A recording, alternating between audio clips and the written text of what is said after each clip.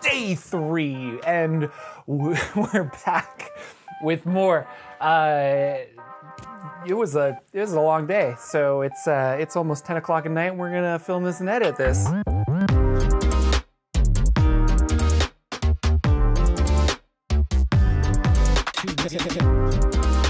Everybody, Jorphdan here. The PH is silent, and this video is day three of my 30 day world building challenge thing.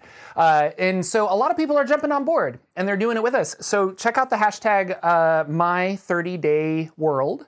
Uh, lots of people are doing really cool stuff all over. Uh, some YouTubers, some bloggers, some people on Instagram. So search it and you can see really cool things. It's like awesome.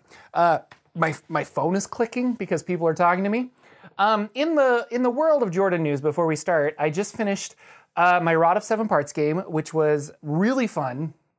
And how often do you actually like end campaigns? Like so many campaigns kind of fizzle out. So this was fun. We started it back in March of 2020, February of 2020, I think actually was the first day, the end of February and we've been playing all the way and, and i promised them a 10 to 11 month campaign and here we are december 1st or december 2nd and we finished it uh, so it was a lot of fun. So if you're curious about that uh, good friend ted nerd immersion ted uh, has all of the, the episodes of that archived. So if you want to see how i dm i'm not the best but sometimes you just need to know that there's regular average joe dms out there. And so it's kind of fun to hear just regular people play d&d with that let's jump over to the the notion. And uh, we'll we'll discuss uh, yesterday's and today's. So let's go.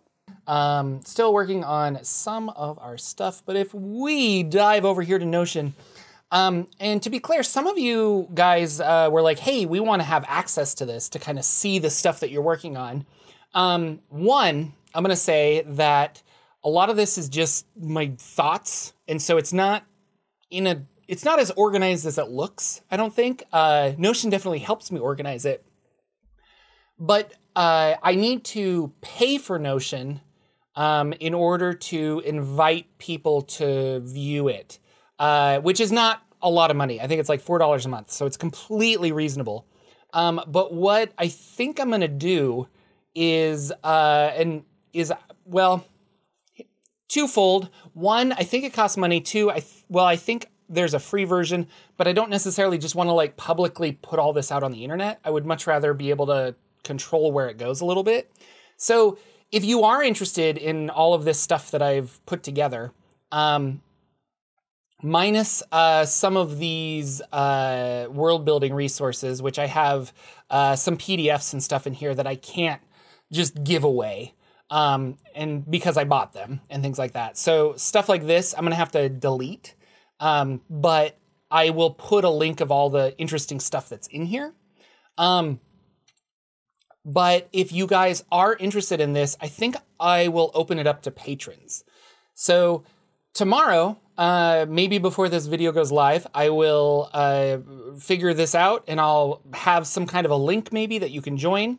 Um, if you go to patreon.com slash jordan with a ph in the middle uh, i'll put up a public link that says that it is a go um, and so if you are a new patron and you want to subscribe to me um, it's as little as a dollar it will get you access to this and you can see a lot of the notes that i'm taking um, for all the various things uh, i hope that's okay um, I, I, i'm not a big fan of paywalls and i'm not trying to do that but at the same time i think that's the best way to not just let everybody have access. Like if I if I put the hurdle here, then only the the people that are really interested. Uh, kind of makes more sense than just letting everybody see everything.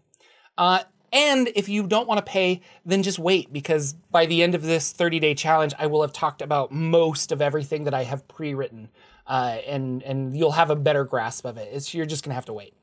So diving in to 30 day world building challenge. Um, today, well, first of all, let's talk about the physical planet. Again, I, I feel like I didn't do this correct, but I don't think that there's a wrong way to do it. The, the wrong way is just not doing it. So I did heavy rainfall, blizzards, thunderstorms, blah, blah, blah, dense fog. Um, and I talked a lot about this where dense fog to me has like mystery, like what's over there. So as I was writing this down, I thought of things that I want pot- potentially in my world. Um, so with heavy rainfall, uh, travel is difficult. We talked about that. Uh, blizzards is slow travel. Maybe you're trapped.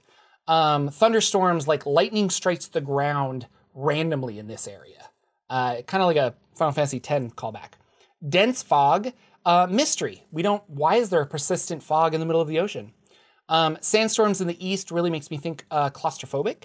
Uh, autumn and winter make me think of death, uh, ominous, the closing of the world, the, the, the thing like that. And that got me thinking that what if in my world, one day a year, the world is in complete darkness? The way the the rotation of the planets and sun and stuff line up. What if one day a year the entire planet is just in darkness? Maybe that's an eclipse. I'm not really sure. I haven't figured it out yet. Spring and summer, I wanted the other side. Maybe there's a day where the whole world is illuminated for a day, like 24 hours of sunlight. Um, humid jungle made me think of exhaustion, draining, very gloomy. Uh, and barren landscape made me think that as gloomy, ominous, melancholy. Uh, dark trees, like dense forest, made me think of oppression and caged. So then I was like, what is a mood? Like, I should just Google that. So I opened this up. Um, I did some Googling. And this is just like mood definition. Like, what is all? And so I, going through here and looking at the moods was a lot better for me to pick, like, what biome makes me think of mysterious or or things like that. So I, I like this. Um, and then this helped me out. This is an unrelated page, but I just I did some googling. And it was kind of fun. Uh, and then mood examples down here. Mood in Hamlet. Like Hamlet is a play about death, grief, madness, lots of different things in Hamlet. Um, but they, the first scene takes place at night with guards seeing a uh, ghost, and they're allowed to set the not allowed, but they set the stage with like it's creepy anonymous, uh, ominous. We don't have you know like hey it's a it's a picnic in the springtime next to the water. Everyone's having fun. Oh, a ghost. That what? Like they kind of a bad example, but they make it creepy. Um, setting it up. Uh, a better one is Alice in Wonderland. It is whimsical, lighthearted, uh, in a cheerful mood, and it and it is very like curious, like what's on the other side. And so that is a, but that's not necessarily weather, but like that is a, um, environment reflecting the uh, the mood that you want to establish. So there's that. Now we're going to jump over to uh, mood and setting. So if we click this, uh, day three, mood and setting. Um, as you've probably noticed already, a lot of my exercises aren't just about building a realistic world, they're about building a world that you can tell a story in. After all, world building is fun, but if you're doing these exercises, you're probably not interested in spending 2,000 hours world building without any practical application to your story, right? Haha, my players will help me make the story. Um, so pull out of your climate lists from Saturday and look them over, which was yesterday. Uh, you should have a bunch of climates, maybe even places, and a world or two describing how you feel when you're there, or word or two, sorry. Uh, well, it's time to make your first real decision about your novel, Cough uh, tabletop RPG campaign setting. What kind of mood do you want it to have? See, we're going to set your uh, tabletop RPG in the kind of climate that contributes to the overall mood and theme. The mood of a novel is how it feels to read it. High fantasy is traditionally set in a climate similar to Europe or England, thanks to the father of heroic fantasy, J.R.R. Tolkien himself. However, it doesn't have to be that way. You can uh, capture a completely different feeling in a Middle Eastern desert setting or a Russia like tundra. For theme, you can adapt your setting to what's actually happening in the novel, what kind of message your novel has to tell. For example, if you want everyone in the novel to be in a constant state of uncertainty, maybe you should set them in a uh, seismically active volcanic region. I like that. Um, or perhaps you want your story to feel very escapist. Nothing says escape like a tropical island with balmy days, uh, mid afternoon storms, lush green plants, and climate and things like that. If you already know, I want to write something dark and gothic, and you look at your climate list and there's dark or gothic, you're there. Uh, you've got your predominant climate, um, things like that. Uh, if you're thinking right now, I have no idea what kind of mood I want, um, yeah, then let's do this. It's going to take us 10 minutes. Read over your list from day one and then turn to a blank piece of paper, close your eyes, and think about what kind of feeling you like to have when you read or write. Write down four words that fit into that feeling two adjectives, a verb, and a noun. So I know what I want to do with this. I don't necessarily need to do, uh, oh, and I'm blocking it again, sorry. I don't necessarily need to do, uh, I'm still blocking it. Jorphdan, gotta move me over here. Um, if I spend 10 minutes, uh, this is to come up with like, what do I want to do? So like, assume that I just don't have um, any idea, but I, I kind of do because I've been working on this for a while. So this, I don't want to say it's a, it's a, it's not a cop out, but I'm, I'm gonna gloss over this and we're gonna talk about the mood that I like and that I want to accomplish. So, mood and setting. One weather effect that we didn't really talk about, um, or like biome, is like a city. And if I go back to uh, this uh, heavy rainfall, so what, what are the, some of the things? I have mystery, claustrophobic, death, exhaustion, gloomy, oppression. Um, I'm going to use oppression. Like, I like that. I like that I'm feeling. Um, I'm feeling oppressed. I'm feeling uh, trapped um, uncertain, lost. These are not heroic things to talk about, but I feel like they're heroic things to overcome. Sorry, they're not heroic characteristics for my player characters, but they're something to overcome. Uh, I want to have a floating uh, tetrahedron, a floating pyramid, uh, inverted, so the point is down. Um, looks kind of like this or this, which is why I have this art and why I have this uh, logo. And so if I have that, there's going to be the people in charge are up in that tower or that pyramid, and they are controlling the lower people. Kind of like, uh, uh, I mean, the the Netherese did this in Forgotten Realms, where they had floating cities, um, but and it was like the aristocrats that were up high and the lower Netherese that didn't have enough money or magic to really go and live on the floating cities. Not necessarily going to be like that, but I I like the idea that they have to look up and see, you know, there's there's my captor, there's my oppression. Like I could go and make something of myself, but they're taking all my taxes or or something like that, if that makes sense. So, uh, if that makes sense. So we're going to say um, inverted pyramid uh, city, uh, dungeon. I'm not sure yet.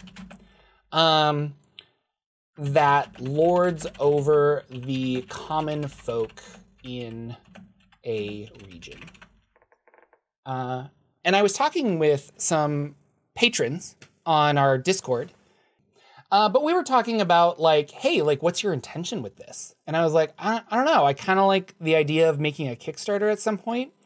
And he was just saying that, you know, there's not a lot of like this is good for Jorphdan, but there's not a lot of drive to buy other people's campaign settings because you kind of want to make your own, and then it's a hard sell without like me having a, an interest in it already. So I want to play in Lord of the Rings, but it's because I read the Lord of the Rings. Nobody wants to play in Endegar because they don't know anything about it. And in order to know things about it, they have to buy it. But like, I don't want to, why would I take a, a risk with that kind of a thing? So it's a lot better to be like, here's the lore, here's the world, but I'm going to give you this sliver of it that you could use in your campaign setting. But if you want more, then there's other stuff. So I think that's a good place to start with this inverted pyramid. I can create this city or this dungeon, and anybody could use that, but it also kind of sheds light on a, on a larger world. And that's what I hope to capture of this kind of like tyrannical leader. So that gets us into uh, who is the most nefarious villain in your world? and that is uh, 30 Days of World Building Who is the most nefarious villain in your world? If we go back to my campaign setting, I actually have a thing called villains. Um, and if we click here, here is the database of villains that I have so far. Now, these four creatures um, are known as the Four.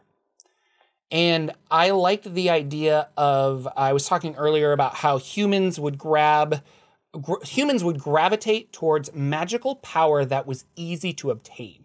So a human to become a warlock, simple answer. Um, whereas other races like dwell- elves or dwarves or, or things like that, uh, they might be like, well, I live such a long time, it's fine for me to be a wizard because I'll do this, or or I'm going to devote myself to a god or things like that.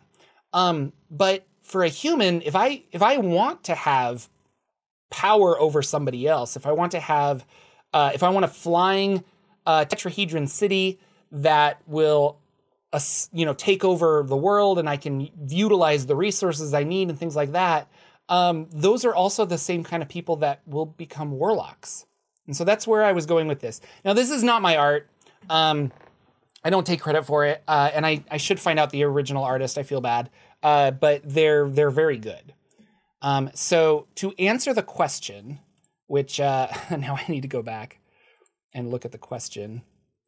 Um, who is the most nefarious villain in your world? If we're starting with this tetrahedron, then the nefarious villain is going to be uh, Domitica Vinic- Vinicius. Uh, goes by the Venerated, a self chosen name, expecting her subjects to regard her with great respect or revere. Uh, she has made a pact with Asmodeus for magical powers. She lives in and controls the floating fortress, which is the tetrahedron that we talked about. Subjects below provide food, items, and enchantments for her and her army. She's building up power to take out another Pact Keeper on Endegar. Now, Pact Keeper is an old word for the quadrivium, basically. Or the quadrivium is like those who worship the four, um, which are these four here. But uh, pact keepers are ones that have made magical pacts with otherworldly beings. Um, and there's just some dope art. It's really cool. Like, I love it. This is just the coolest Eveling. I thought it was really awesome. So she's going to be um, our villain. So if we go back to our question, who is the most nefarious villain in your world? Well, that's uh, Dominica. And she is using magical life force of people to create magic items. And I think that's part of it. So if you're obsessed with power, how do you get more power? Magic items. I liked the idea that magic items uh, were created at a sacrifice. The mood and setting, we're going to be oppression trapped, uncertain, and lost. And we're going to talk more about this inverted pyramid dungeon thing, the tetrahedron. And our most nefarious villain in our world so far is Domitica. I think as a as a campaign setting, maybe Domitica is like the stage one boss and you know medea is the stage two boss and and then all of a sudden we get all the way up to the the king in yellow and he's our he's our uh he's our final boss. So um i don't know. Or not. We'll see. Uh, hello everybody. That is day three. Thank you guys for uh, checking out the video. Um, and like I said earlier, if you are interested in actually perusing a lot of that uh, Notion database, uh, create an account at notion.so. Um, check out my Patreon at patreon.com slash Jordan with a PH in the middle. And um, I'll, I'll see about subscribing to Notion so that I can add people to the project. And then I think doing that, you'll be able to view it and uh, and and it, and not make changes, but maybe make comments and be like, oh, I like this or or things like that. We can we can do something interesting like that. But for right now, I want to leave it in a Patreon only state. Thank you guys again for watching. Uh, stay tuned for the rest of the month, and I will uh, catch you tomorrow. So thanks, everybody.